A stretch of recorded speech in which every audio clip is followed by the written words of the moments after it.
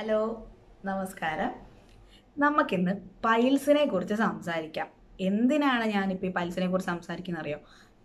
നമ്മുടെ ഗ്രൂപ്പിൽ തന്നെ കുറേ പേർക്ക് പ്രഗ്നൻസിയിൽ തന്നെ ഇങ്ങനെ പൈൽസിന്റെ സിംറ്റംസ് ഒക്കെ കാണുന്നു അല്ല ഡെലിവറി കഴിഞ്ഞിട്ട് കാണുന്നു. അപ്പോൾ അവരൊക്കെ എന്നോട് ഇങ്ങനെ ഈ പൈൽസിനെ കുറിച്ചുള്ള കാര്യങ്ങളൊക്കെ ചോദിക്കുന്നു. ചേച്ചി ഭയങ്കരമായിട്ട് നാണക്കേട് ചേച്ചി എനിക്ക് ഇങ്ങനെ ഒരു സംഭവങ്ങളും കാര്യങ്ങളൊക്കെ വന്നു എന്നുള്ള വിധത്തിൽ ആൾക്കാർ സംസാരിക്കുന്നു. അപ്പം എനിക്ക് തോന്നി നമുക്ക് പൈൽസിനെ കുറിച്ച് ഒന്ന് സംസാരിക്കാം. അതായത് എന്താണ് പൈൽസ് ഒരു ഭീകര രോഗമാണോ? പുറത്ത് പറയാൻ പാടില്ലാത്ത അത്ര മാരകമായ അസുഖമാണോ എന്നുള്ളത് നമുക്ക് സംസാരിക്കാം. ഇന്ന് ഈ പൈൽസിനെ കുറിച്ച് നിങ്ങളുടെ മുമ്പിൽ നിന്ന് സംസാരിക്കുന്നത് എന്റെ ജീവിതത്തിൽ എനിക്ക് പൈൽസ് വന്നതാണ്. വന്ന് അതിനെ അതിന്റെതായ രീതിയിൽ ട്രീറ്റ് ചെയ്ത് പൂർണമായും ഭേദപ്പെട്ടിട്ടിരിക്കുന്ന ഒരു വ്യക്തിയാണ് ഞാൻ. അതായത് ഒരു മൂന്ന് വർഷം മുമ്പ്. അപ്പം ഞാൻ പറയുന്നത് നിങ്ങൾക്ക് വിശ്വസിക്കാലോ? ഞാൻ ആ അനുഭവസ്ഥർ അതായത് പൈൽസ് വന്ന ഒരാൾ പറയുന്നത് കേൾക്കുമ്പം നിങ്ങൾക്ക് ഇത് നിങ്ങൾ ഇത്രമാത്രം പേടിക്കേണ്ട ഒരു കാര്യമാണോ? ഇത്രത്തോളം നാണക്കേട് കൊണ്ട് നടക്കേണ്ട കാര്യമാണോ എന്നുള്ളത് നിങ്ങൾക്ക് മനസ്സിലാവും. എല്ലാവരെയും പോലെ തന്നെ ഈ പൈൽസ് എന്ന് പറയുന്നത് ഭയങ്കര നാണക്കേടായിട്ട് അല്ലെങ്കിൽ അയ്യേ പൈൽസോ സത്യം പറഞ്ഞാൽ നമുക്ക് നമുക്ക് അറിയത്തില്ല അതായത് അറിവില്ല. അറിവില്ലാത്ത കാര്യത്തിനെ കുറിച്ച് എന്തോ ഭയങ്കരമായിട്ട് അറിയാം എന്നുള്ള ധാരണയിലാണ് നമ്മൾ പല കാര്യങ്ങളെയും ഫേസ് ചെയ്യുന്നത്. അങ്ങനെയായിരുന്നു ഞാനും പൈൽസിനെ കണ്ടുകൊണ്ടിരുന്നത്. പൈൽസ് എന്ന് പറയുമ്പോൾ എന്തോ നമ്മുടെ മലദ്വാരത്തിന്റെ അവിടെ എന്തോ ഒരു ഭയങ്കര വൃത്തികേടാണ് സംഭവിക്കുന്നത് അവിടെ നടക്കുന്നത്. അതുകൊണ്ട് പൈൽസ് പൈൽസ് എന്ന് പറയാൻ തന്നെ പലർക്കും എനിക്ക് പൈൽസ് ആണ് അല്ലെങ്കിൽ എനിക്ക് പൈൽസ് വന്നു ഡോക്ടേഴ്സിനോട് പോലും പറയാൻ വേണ്ടി എല്ലാവർക്കും നാണക്കേടാണ്. അങ്ങനെ വെച്ചോണ്ടിരുന്നിട്ട് പറയാൻ നാണക്കേടിനെ പുറത്ത് പറയാൻ മടിയായിട്ട് വെച്ചോണ്ടിരിക്കും. വെച്ചോണ്ടിരുന്ന് വെച്ചോണ്ടിരുന്ന അവസാനം അത് ബ്ലീഡിങ് ആവും. ഭയങ്കരമായ ബ്ലീഡിങ് ആവും. അതിന്റെ അങ്ങേയടുത്ത സ്റ്റേജ് ആവും. അപ്പം ഡോക്ടറിന്റെ അടുത്ത് പോയിട്ട് എല്ലാവരും കൂടി ഓടും. എന്നിട്ട് അത് കരിക്കാനെന്നും പറഞ്ഞുകൊണ്ടും കട്ട് ചെയ്യാനെന്നും പറഞ്ഞുകൊണ്ട് എല്ലാവരും കൂടി ഓടും. അങ്ങനെ കുറേ പൈസ അതിന് വേണ്ടി കളഞ്ഞു കഴിയുമ്പോഴത്തേക്കും എല്ലാവർക്കും സന്തോഷമാവും. പിന്നെ അതിന്റെ പുറകെ കുറച്ച് നാൾ അതിന്റെ ഡ്രസ്സിങ് ആയി അതിന്റെ കുറേ ട്രീറ്റ്മെന്റ് ആയി അങ്ങനെയൊക്കെ നടക്കുമ്പോഴത്തേക്കും സന്തോഷമാവുമല്ലോ എല്ലാവരും നിങ്ങൾ ദയവ് ചെയ്ത് ഈ പൈൽസ് എന്ന് പറയുന്നത് പുറത്ത് പറയാൻ നാണക്കേടായിട്ട് നടക്കുന്ന ഒരു അസുഖമായിട്ട് കാണരുത്. അതിനെ ഞാൻ പറഞ്ഞു തരാം. എന്താ സംഭവം എന്നുള്ളത്. പൈൽസ് എന്താണെന്ന് അറിയില്ലാത്തവർക്ക് ആദ്യം പറഞ്ഞു തരാം. അതെന്ന് വെച്ചാൽ നമ്മുടെ മൂലക്കുരു എന്നാണല്ലോ പറയുന്നത്. അതൊരു കുരു ഒന്നും അല്ല അവിടെ. അതായത് നമ്മുടെ രക്തക്കുടലില്ലേ. നമ്മൾ നിങ്ങൾ കേട്ടിട്ടുണ്ട് വെരിക്കോസ് വെയിൻ വെരിക്കോസ് വെയിൻ എന്താ സംഭവിക്കുക നമ്മുടെ കാലിലൊക്കെ ഭയങ്കര ഓവർ പ്രഷറും കാര്യങ്ങളൊക്കെ കൊടുക്കുന്ന സമയത്ത് അവിടെ ഭയങ്കരമായിട്ട് അവിടുത്തെ നെർവ്സ് എല്ലാം കൂടി ഇങ്ങനെ ചുരുണ്ടുകൾ കാണാം വെരിക്കോസ് വെയിൻ വന്നവർക്ക് നിങ്ങൾക്ക് അറിയാം അതിന്റെ ഞരമ്പുകളെല്ലാം കൂടി ഇങ്ങനെ ചുരുണ്ട് കൂടി ചുരുണ്ട് കൂടി ചുരുണ്ട് നിങ്ങൾക്ക് ഇത് കാണാം. അപ്പം അങ്ങനെയാണ് കാലിന് ഓവർ പ്രഷർ അങ്ങനെ വെരിക്കോസ് വെയിൻ വരുന്നവരോട് എന്താ പറയുന്നത്? നിങ്ങൾ കാലിന് റെസ്റ്റ് കൊടുക്കുക. അധിക നേരം നിൽക്കാതിരിക്കുക കാലിന് അതായത് പ്രഷർ കൊടുക്കാതിരിക്കുക. അപ്പോൾ അങ്ങനെ വെരിക്കോസ് വെയിൻ ട്രീറ്റ്മെന്റ് ആയിട്ട് അതാണ് പറയുന്നത്. അതുപോലെ തന്നെ നമ്മൾ നമ്മുടെ മലദ്വാരത്തിൽ അതായത് മലവിസർജനം നടത്തുന്ന സമയത്ത് നമ്മൾ നമുക്ക് കോൺസ്റ്റിപ്പേഷൻ വരത്തില്ലേ? അതായത് വയറ്റിൽ നിന്ന് പോകാൻ ബുദ്ധിമുട്ട് വയറ് ടൈറ്റ് ആവുന്ന ഒരു അവസ്ഥ വരത്തില്ലേ? ആ ഒരു അവസ്ഥയിൽ നമ്മൾ എന്ത് ചെയ്യും? നമ്മൾ നോർമലി നമ്മൾ മനുഷ്യന്മാർ എന്താ നമ്മൾ നമ്മളിങ്ങനെ ഭയങ്കരമായിട്ട് നമുക്ക് പോകണം എന്നുള്ളൊരു മനസ്സിലൊരു ടെൻഡൻസി ഉണ്ട്. പക്ഷെ നമുക്ക് പോകാനും പറ്റുന്നില്ല. അപ്പോൾ നമ്മൾ ഭയങ്കരമായിട്ട് പ്രഷർ കൊടുക്കും. അത് മുക്കി നമ്മളിങ്ങനെ പോകാൻ വേണ്ടി പിള്ളേരൊക്കെ ഭയങ്കരമായിട്ട് മുക്കുന്ന കാണത്തില്ല. അപ്പോൾ നമ്മളിങ്ങനെ ബലപ്പെടുത്തി നമ്മൾ വയറ്റിൽ നിന്ന് പോകാൻ ശ്രമിക്കുമ്പോൾ നമ്മുടെ മലദ്വാരത്തിന്റെ അവിടെ അത് ഭയങ്കര പ്രഷറായിട്ട് വരുന്നു. അങ്ങനെ അവിടുത്തെ രക്തക്കുഴൽ നേവ് ഉരുണ്ടു കൂടുന്നു തടിച്ചു കൂടുന്നു. അങ്ങനെയാണ് ഈ അതിനെയാണ് അതായത് നെർവ് ഇങ്ങനെ തടിച്ചു കൂടുന്നതിനെയാണ് പൈൽസ് എന്ന് പറയുന്നത് മൂലക്കുരു എന്ന് പറയുന്നത്.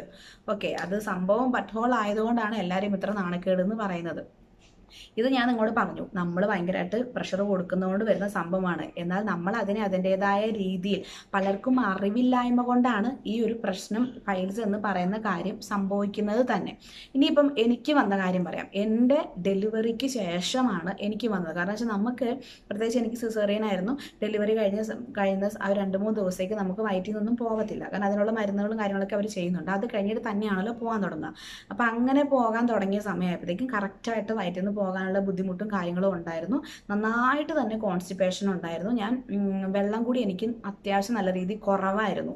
അപ്പോൾ വെള്ളം കൂടി പൊതുവേ കുറവുള്ള ഒരാളാണ് ഞാൻ. അപ്പം എനിക്ക് സത്യം പറഞ്ഞാൽ നമ്മൾ ഇങ്ങനെ ഒരു പ്രഗ്നൻസിയിൽ അല്ലെങ്കിൽ നമുക്ക് ഇങ്ങനെ ഒരു കോൺസ്റ്റിപ്പേഷൻ വന്നു കഴിഞ്ഞാൽ നമ്മൾ ഓവർ പ്രഷർ കൊടുത്താൽ പൈൽസ് വരും എന്നുള്ള ധാരണ എനിക്കറിയത്തില്ല പൈൽസ് എന്ന് പറയുന്നത് ഞങ്ങൾ എന്റെയൊക്കെ ധാരണ ഉണ്ടായിരുന്നു ചിക്കൻ കഴിച്ചാൽ മുട്ട നന്നായിട്ട് കഴിച്ചാൽ. അങ്ങനെയൊക്കെയാണ് അതായത് പൈൽസ് മുട്ട കഴിക്കരുത് പൈൽസ് വരും. ചിക്കൻ കഴിക്കരുത് പൈൽസ് വരും. ഇങ്ങനെയൊക്കെയാണ് ഞാൻ കേട്ടിട്ടുള്ളത്. അപ്പോൾ എന്റെയൊക്കെ മനസ്സിൽ ഇങ്ങനെ ഒരു പ്രഷർ കൊടുക്കുന്നതുകൊണ്ടാണ് സംഭവം എന്നുള്ള കാര്യമേ എനിക്ക് അറിയത്തില്ല ഓക്കെ അങ്ങനെ ഉണ്ടായിരുന്നെങ്കിൽ ഞാൻ അതിന്റെതായ കെയർ നേരത്തെ പ്രിക്കോഷൻ എടുത്തായിരുന്നേനെ.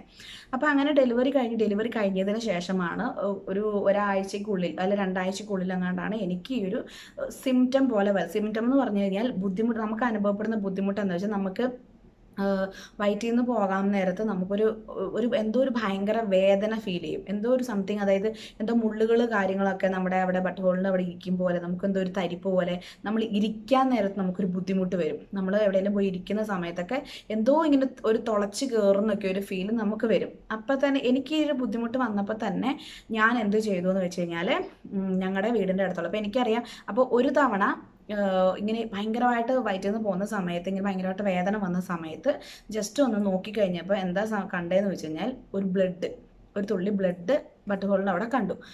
അപ്പോൾ അത് കണ്ടു കഴിഞ്ഞ് കഴിഞ്ഞപ്പോഴത്തേക്കും എനിക്ക് തോന്നി സംഭവം അത്ര നിസ്സാരമല്ല. ഞാൻ അത് വെച്ചുകൊണ്ടിരുന്നേ ഇല്ല ഞാൻ നേരെ പിന്നെ ഹോസ്പിറ്റലിൽ പോയി. ഹോസ്പിറ്റൽ എന്ന് പറഞ്ഞാൽ ഞങ്ങളുടെ വീടിന്റെ അടുത്ത് ഒരു ഹോമിയോ ഹോസ്പിറ്റലുണ്ട്. അപ്പോൾ ഡോക്ടർ ജെയ്സോ എന്നാണ് ഡോക്ടർ വിളിച്ചത് അപ്പോൾ ഡോക്ടറെ അടുത്ത് ഞാൻ ചെന്നു.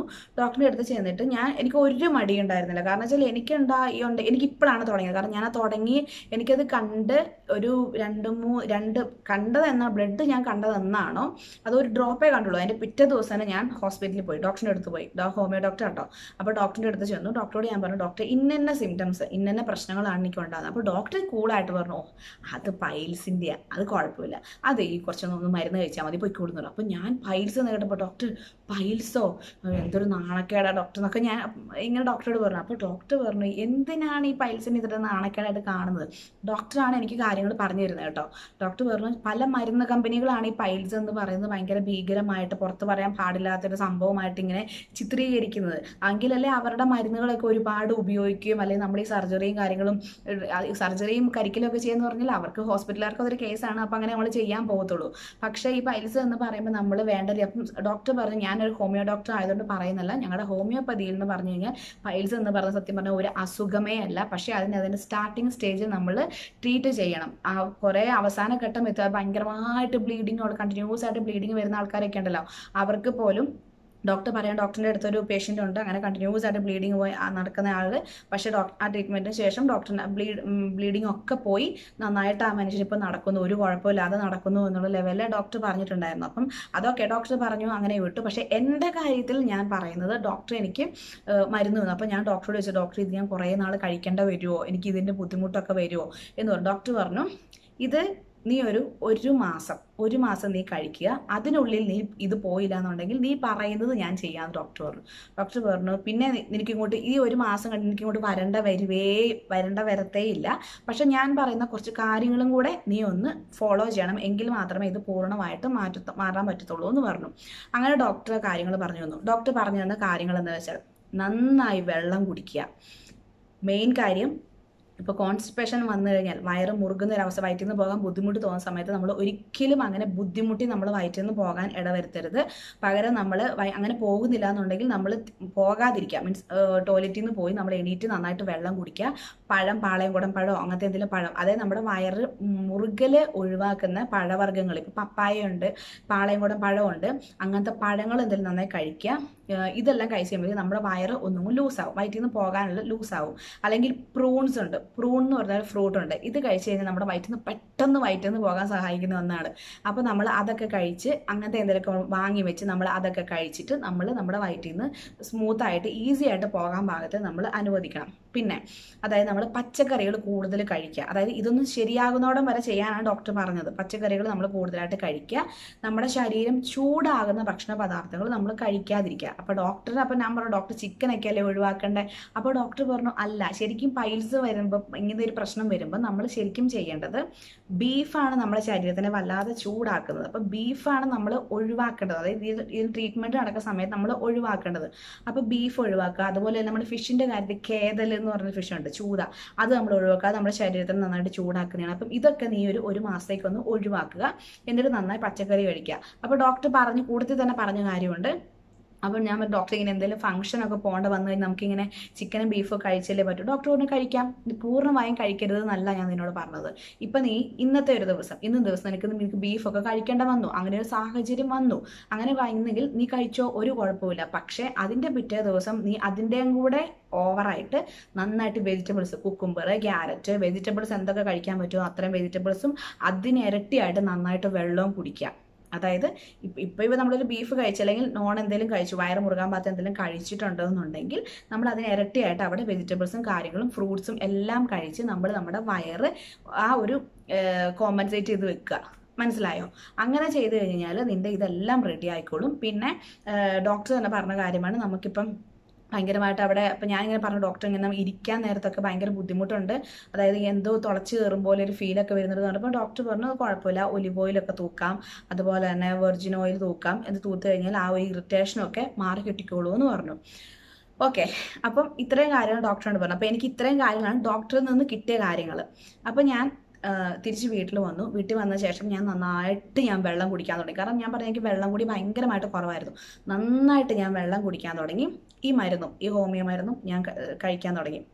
ഒരു ഒരാഴ്ച രണ്ടാഴ്ച ആയപ്പോഴത്തേക്കും എനിക്ക് ഈ ഇറിറ്റേഷൻ പോയി. അതായത് എനിക്ക് ഈ വേദന എന്നുള്ള വേദന എന്നല്ല ഒരു ഒരു എന്തോ ഇങ്ങനെ നമുക്ക് കൊണ്ടു കയറുന്ന ഒരു ആ ഒരു ഫീലാണ് അതെനിക്ക് മാറിക്കിട്ടി അത് മാറിക്കിട്ടി. അത് കഴിഞ്ഞപ്പോഴത്തേക്ക് അപ്പം ഒരാഴ്ച കൊണ്ട് തന്നെ ബ്ലഡ് വരൽ നിന്ന് കേട്ടോ. നന്നായി വെള്ളം കുടിക്കാൻ തുടങ്ങിയപ്പോൾ തന്നെ ആ ഒരു ഡ്രോപ്പ് ഒരു ഡ്രോപ്പേ ഉള്ളൂ ബ്ലഡ് അല്ലാണ്ട് ഓവറായിട്ടൊന്നുമില്ല അത് ഉണ്ടായിരുന്നില്ല. പിന്നെ അത് എനിക്ക് ആ ഇറിറ്റേഷൻ മാറി കിട്ടി. ഒരു മൂന്നാഴ്ചയായി. മൂന്നാഴ്ച ആയപ്പോഴത്തേക്കും എനിക്ക് സത്യം പറഞ്ഞു കഴിഞ്ഞാൽ അല്ല അതുവരെ നമുക്ക് ടോയ്ലറ്റിൽ പോകുന്ന സമയത്ത് നമുക്കൊരു വേദന ഉണ്ടായിരുന്നു. അതായത് നമുക്ക് അത് നമുക്ക് മനസ്സിലാവും. ടോയ്ലറ്റിൽ പോകാൻ നേരത്ത് ഒരു വേദന വരും. ആ വേദന പോലും എനിക്ക് ഇല്ലാണ്ടായി. അങ്ങനെ ആ ഒരു മാസത്തെ മരുന്ന് ഞാൻ കഴിച്ചു. ഒരു മാസം മരുന്ന് കഴിച്ചപ്പോഴത്തേക്ക് എനിക്ക് എന്റെ പൈൽസ് എന്ന് പറയുന്നത് പൂർണമായിട്ടും ഭേദപ്പെട്ടു. ഇപ്പം ദൈവം സഹായിച്ചു. മൂന്ന് വർഷം കഴിഞ്ഞു. എനിക്കത് നടന്നിട്ട് മൂന്ന് വർഷം കഴിഞ്ഞു. ഇതേ വരെ അതിന്റെ ഒരു സിംറ്റംസും കാര്യങ്ങളും എനിക്ക് വന്നിട്ടേ ഇല്ല അപ്പം എനിക്ക് കാരണം വെച്ചാൽ അതിൽ ഞാൻ ശ്രദ്ധ കൊടുക്കുന്നുണ്ട്. എന്താന്ന് വെച്ചാൽ നിങ്ങളോട് എനിക്ക് പറയാനുള്ളത്. നിങ്ങൾ ആർക്കെങ്കിലും ഇതിന്റെ ഒരു സിംറ്റം അതായത് ഈ പൈൽസ് എന്ന് പറയുന്നത് രണ്ട് വിധത്തിലുണ്ട്. ഇന്റേണലും ഉണ്ട് എക്സ്റ്റേണലും ഉണ്ട്. ചിലർക്ക് ഉള്ളിലായിട്ടായിരിക്കും വരിക ചിലർക്ക് അത് പുറത്തോട്ട് ഇങ്ങനെ കുറച്ച് തടുപ്പ് പോലെ ഇങ്ങനെ പുറത്തോട്ടായിരിക്കും കാണുക. നമ്മൾ തൊടുമ്പോൾ നമുക്ക് മനസ്സിലാവും. അങ്ങനെ നിങ്ങൾക്ക് ഏത് വിധത്തിലായിക്കോട്ടെ നിങ്ങൾക്ക് എന്തെങ്കിലും വയറ്റിൽ നിന്ന് പോകുമ്പോൾ എന്തെങ്കിലും ഇറിറ്റേഷനോ അല്ലെങ്കിൽ എന്തെങ്കിലും ബുദ്ധിമുട്ടോ അല്ലെങ്കിൽ ചെറിയൊരു ബ്ലഡ് പോലെയൊക്കെ നിങ്ങൾ കണ്ടിട്ടുണ്ടെങ്കിൽ ഒരു മടിയും വിചാരിക്കാതെ നിങ്ങൾ ഒന്ന് ഹോസ്പിറ്റലിൽ പോവുക. എനിക്ക് അനുപമ ഹോമിയോ ആയതുകൊണ്ട് ഞാൻ നിങ്ങളോട് ഹോമിയോ ഞാൻ പറയുവാണ്. നിങ്ങൾ തുടക്കത്തിൽ നമ്മൾ എന്ത് അസുഖത്തിനും നമ്മൾ തുടക്കത്തിലേ പോയി ട്രീറ്റ് ചെയ്താൽ നമുക്കത് പെട്ടെന്ന് മാറി കിട്ടും. അത് അങ്ങേയറ്റം എത്തിക്കഴിഞ്ഞിട്ട് നമ്മൾ ട്രീറ്റ് ചെയ്യുന്നത് ഒരുപാട് സമയമെടുക്കും പിന്നെ അതിനനുസരിച്ച് നമ്മൾ വേദന അനുഭവിക്കണം. അതുകൊണ്ട് നിങ്ങൾക്ക് ആർക്കെങ്കിലും ചെറുതായിട്ട് ഒരു സിംറ്റമും കാര്യങ്ങളും വന്നിട്ടുണ്ടെങ്കിൽ നിങ്ങൾ അപ്പം തന്നെ നിങ്ങൾ ഹോസ്പിറ്റലിൽ പോവുക. അതിന്റെതായ ട്രീറ്റ്മെന്റ് എടുക്കുക. പിന്നെ അതിനോടൊപ്പം തന്നെ ചെയ്യേണ്ട കാര്യം നന്നായിട്ട് നിങ്ങൾ വെള്ളം കുടിക്കണം. കാരണം നമുക്ക് നന്നായിട്ട് വെള്ളം കുടിച്ചില്ലെങ്കിൽ നമുക്ക് വയറ് മുറുകുന്ന ഒരു അവസ്ഥ തരും. അവസ്ഥ വരും. പിന്നെ അത് മാത്രമല്ല നിങ്ങൾ വയറ്റിൽ നിന്ന് ഒരിക്കലും സ്ട്രെയിൻ ചെയ്ത് പോകാൻ നിങ്ങളെ ഇടവരുത്തരുത്. ഇപ്പം ഭയങ്കരമായിട്ട് സ്ട്രെയിൻ കൊടുക്കേണ്ട ഒരു അവസ്ഥ പോകുന്നില്ലാത്തൊരവസ്ഥ വന്ന് നിങ്ങൾ കുറച്ച് വെള്ളം എടുത്തിട്ട് നിങ്ങളുടെ ബട്ട് ഹോളിന്റെ അവിടെ ഒഴിക്കുക. അതല്ലെന്നുണ്ടെങ്കിൽ കുറച്ച് ഒലിവ് ഓയിൽ തൂക്കുക. ഈ ഇറിറ്റേഷൻ ഫൈൽസിന്റെ ഒരു ഇറിറ്റേഷൻ മാറി കിട്ടും. വെർജിൻ കോക്കനട്ട് അല്ലേ ഉരുക്ക് വെളിച്ചെണ്ണ ഉരുക്ക് വെളിച്ചെണ്ണ തൂക്കുക. നിങ്ങൾക്ക് ആ ഒരു ഇറിറ്റേഷൻ മാറി കിട്ടും. ഇതൊക്കെ നമ്മുടെ അവിടെയുള്ള ഇറിറ്റേഷൻ മാറി കിട്ടാൻ സഹായിക്കുന്നതാണ്. പിന്നെ അതുപോലെ തന്നെ നമ്മുടെ ബാത്തിൽ അതായത് നമ്മുടെ ഒരു ഇളം ചൂടുവെള്ളത്തിൽ ഇളം ചൂടുവെള്ളത്തിൽ കുറച്ച് ഉപ്പ് ഒഴിച്ചിട്ട് നമുക്ക് അതിനകത്തോട്ട് കുറച്ചൊരു പരന്ന പാത്രം ഉണ്ടെങ്കിൽ നമുക്ക് അവിടെ ഇരിക്കാൻ പറ്റുകയാണെങ്കിൽ അതും നല്ലതാണ്. കാരണം വെച്ചാൽ നമുക്ക് അവിടെ ഒന്നും കൂടെ സ്മൂത്ത് ആവാനും വയറ്റിൽ നിന്നൊക്കെ പോകാനും ഒക്കെ സഹായിക്കും. അവിടെയുള്ള ബുദ്ധിമുട്ടും കാര്യങ്ങളൊക്കെ പോകും. പക്ഷെ നിങ്ങൾ അതോടൊപ്പം തന്നെ ഈ ഒരു മരുന്നും കൂടെ നിങ്ങൾ ചെയ്യേണ്ടതാണ്. പിന്നെ ഒരുപാട് ഹോം റെമഡീസ് ഉണ്ട് ഈ ഒരു പൈൽസിന് വേണ്ടി ചെയ്യുന്നത്. പക്ഷെ ആ ഹോം റെമഡീസ് വേണമെങ്കിൽ നിങ്ങൾക്ക് വേറൊരു എപ്പിസോഡ് ഞാൻ പറഞ്ഞുതരാം. കാരണം എല്ലാം കൂടെ പറയുമ്പോൾ ഒരുപാട് സമയമാവും. പക്ഷേ ഹോം റെമഡീസ് എന്ന് പറഞ്ഞു കഴിഞ്ഞാൽ നിങ്ങൾ ട്രീറ്റ്മെന്റ് അതിനുള്ളൊരു മരുന്ന് നിങ്ങൾ എടുത്തിട്ട് അതിനോടൊപ്പം തന്നെ ഹോം റെമഡീസ് ചെയ്യുന്നതാണ് നല്ലത്. അല്ലെന്നുണ്ടെങ്കിൽ നിങ്ങൾക്ക് ചെയ്യാം. അതായത് ഈ പറയുന്ന ഫുഡ് ഒരു എന്താണ് ഞാൻ കറക്റ്റായിട്ട് ഫോളോ ചെയ്യണം നന്നായിട്ട് വെള്ളം കുടിക്കുക അതുപോലെ ഫ്രൂട്ട്സ് കഴിക്കുക വെജിറ്റബിൾസ് ഇതൊന്നും മാറുന്നോടം വരെ നിങ്ങൾ നന്നായിട്ട് വെജിറ്റബിൾസ് കഴിക്കുക. ഈ പറയും പോലെ തന്നെ ഞാൻ എനിക്ക് ഒരു ഒരു മാസത്തിനിടയ്ക്ക് ഞാൻ പലതവണ ഞാൻ നോൺ കഴിച്ചു. ഞാൻ നോൺ കഴിച്ചു. എനിക്ക് വയറ് മുറുകുന്ന പ്രശ്നങ്ങളൊന്നും വന്നില്ല കേട്ടോ. പക്ഷേ നോൺ കഴിച്ചാലും ഞാൻ അതിന്റെ അടുത്ത സമയത്തേക്ക് ഞാൻ നന്നായിട്ട് വെള്ളം കുടിക്കാനും പച്ചക്കറികളോ ഫ്രൂട്ട്സോ എന്തെങ്കിലും എടുത്ത് കഴിക്കാനും ഞാൻ ശ്രദ്ധിക്കുമായിരുന്നു. അങ്ങനെയാണ് അതെല്ലാം കൂടെ ശ്രദ്ധിച്ചുകൊണ്ടാണ് എനിക്ക് മാറി കിട്ടിയത്. അപ്പോൾ ഒന്നും കൂടെ നിങ്ങളോട് ഞാൻ പറയുന്നത് നിങ്ങൾക്ക് പൈൽസിന്റെതായ എന്തെങ്കിലും ഒരു പ്രശ്നങ്ങളും കാര്യങ്ങളും കണ്ടിട്ടുണ്ടെങ്കിൽ നിങ്ങൾ പുറത്ത് പറയാൻ മടിക്കാതെ നിങ്ങൾ ധൈര്യമായ ഒരു ഡോക്ടറെ പോയി കാണുക. ഡോക്ടറെ പോയി കണ്ട് നിങ്ങളുടെ കാര്യം പറഞ്ഞു കഴിഞ്ഞാൽ നിങ്ങൾക്ക് തുടക്കത്തിൽ തന്നെ യാതൊരു സർജറിയും അല്ലെങ്കിൽ കരിക്കലിന്റെ ഒരു കരി കരിയുന്ന ഒരു കരിക്കുന്ന ഒരു അവസ്ഥ ഇല്ലാണ്ട് നിങ്ങൾക്കത് മാറി കിട്ടും കാരണം നമ്മളൊന്നും നമുക്കൊരു സർജറി ഒക്കെ ചെയ്യുമ്പോഴാണ് അതിന്റെ ബുദ്ധിമുട്ട് മനസ്സിലാവുക. കാരണം നമ്മൾ കുറേ നാൾ റെസ്റ്റ് എടുക്കും കുറച്ച് നാൾ റെസ്റ്റ് എടുക്കണം. പിന്നെ ടോയ്ലറ്റിൽ പോകാനുള്ള ബുദ്ധിമുട്ടായിരിക്കും. കാരണം പട്ടോളിൽ അവിടെയാണ് സർജറിയും കാര്യങ്ങളും മീൻസ് കരിക്കലും കാര്യങ്ങളൊക്കെ വരുന്നത്. അപ്പോൾ അതിന്റെതായ കെയർ നമ്മൾ കൊടുത്തേ പറ്റൂ. അതിന്റെ ഒന്നും ഒരു ആവശ്യമില്ലാണ്ട് ഈസി ആയിട്ട് ഈസി ആയിട്ട് നമുക്ക് പോകാൻ പറ്റും. വിത്തിൻ മന്ത് വിത്തിൻ മന്ത് നമുക്കിത് സംഭവം റെഡിയാവും അപ്പോൾ നിങ്ങൾ ഞാൻ പറഞ്ഞ് വിശ്വസിക്കും. കാരണം വന്ന ഒരാളാണ് പറയുന്നത്. ഒരു ഇത്രയും വലിയ പബ്ലിക് പ്ലാറ്റ്ഫോമിൽ വന്നിട്ട് എനിക്ക് യാതൊരു മടിയില്ല ഇങ്ങനെ ഒരു കാര്യം പറയുന്നതിന്. കാരണം വന്നിട്ട് ഞാൻ ഒരു അനുഭവസ്ഥ വന്ന് പറയുമ്പോഴാണ് നിങ്ങൾ അതിന്റെതായ രീതിയിൽ അത് എടുക്കത്തുള്ളൂ. അതെനിക്ക് നന്നായിട്ട് അറിയാം. അതുകൊണ്ടാണ് പറയുന്നത്.